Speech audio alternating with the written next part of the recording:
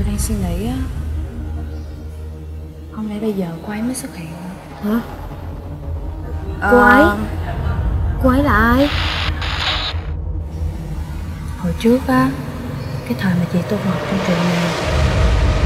Tao và tài thấy trên kính có ghi tôi bị quan giết bằng son.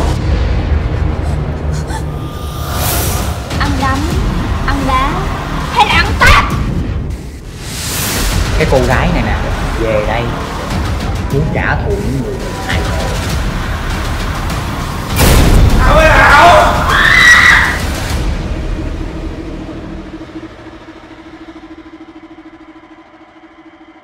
son gì ở đâu? Son con gái xài á? Viết trên kính nha. Trời ơi y chang máu luôn. Nhìn mà muốn đổ da gà luôn. Ghê lắm. Đáng sợ luôn nha. Nhìn ta cũng thấy rồi. Á ghê không sợ tàn ái người ta từ từ đi bữa nay đánh võ ba luôn nè. Nghe chị còn thứ mà nghe đi. à